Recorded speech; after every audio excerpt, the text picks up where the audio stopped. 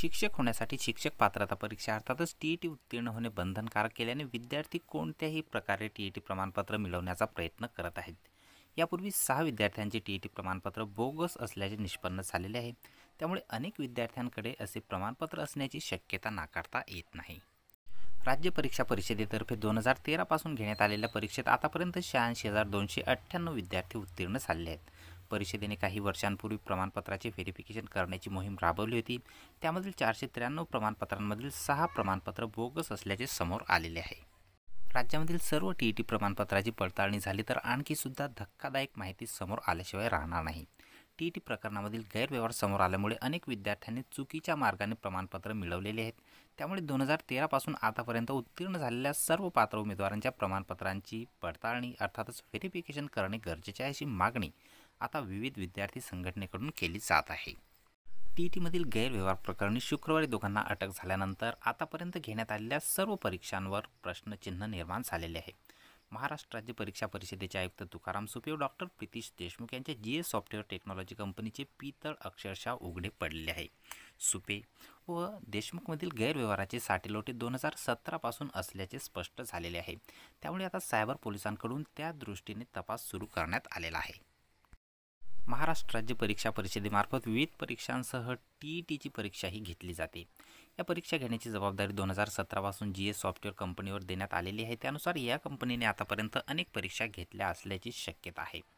त्यातून G S software technology कंपनीचा संचालक डॉक्टर प्रितीश देशमुख सोबतच राज्य परीक्षा परिषदेचे आयुक्त तुकाराम सुपे आणि शिक्षण विभागात आयुक्तांचा सल्लागार म्हणून काम करणाऱ्या अभिषेक सावरीकर यांची ओळख झाली आहे.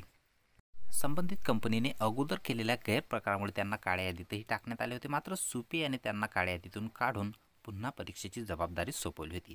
दरम्यान संबंधित कंपनीने दोन हजार एकोणीस ते दोन हजार वीसच्या परीक्षेच्या निकालामध्ये फेरफार करून परीक्षार्थींकडून पैसे घेऊन गैरव्यवहार केल्याचे सायबर पोलिसांनी केलेल्या तपासात उघड झालेले आहे. सुपे डॉक्टर देशमुख व सायरीकर यांचे दोन हजार सतरापासूनचे संबंध असल्यामुळे तेव्हापासून आतापर्यंत झालेल्या परीक्षांबाबत प्रश्नचिन्ह निर्माण झालेले आहे. डॉक्टर देशमुखच्या मदतीने सुपे सावरीकर या दोघांनी अन्य साथीदारांच्या मदतीने हा गुन्हा केलेला आहे. सावरीकरने परीक्षार्थींना उत्तीर्ण करण्यासाठी किती जणांकडून एजंटांमार्फत पैसे घेतलेले आहेत? तसेच शिक्षण विभागामार्फत घेतलेल्या इतर परीक्षांमध्येही गैरव्यवहार केला आहे का? याबाबत तपास करायचा आहे. या परीक्षा गैरव्यवहार प्रकरणात तुकाराम सुपे यांच्या कार्यालयातील इतर कोणी साथीदार आहेत का? याबाबत तपास करायचा आहे. आणि या संपूर्ण प्रकरणामुळे शिक्षक अभियोग्यता बुद्धिमत्ता चाचणी जी फेब्रुवारी दोन हजार बावीसमध्ये घेतली जाणार आहे ती घेण्याची जबाबदारी परीक्षा परिषदेकडे नसणार आहे.